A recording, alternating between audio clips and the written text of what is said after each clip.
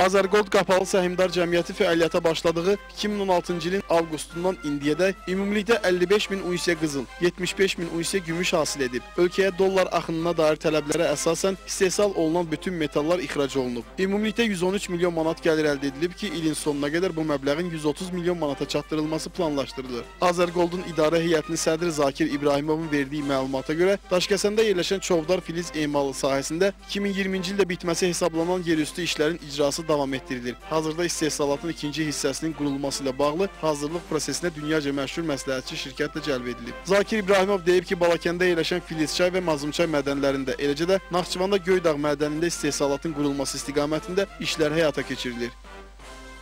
Yəni bu əlavə 3 mədən e, 2022-ci ilə qədər işə salınması planlaşdırılır. Bu da milyardlarla dolların deməli ölkə iqtisadiyyatına e, cəlb edilməsi deməkdir. Ümumiyyətlə ölkədə bir çox istiqamətlərdə kəşfiyyat və tədqiqat işləri aparılmaqdadır.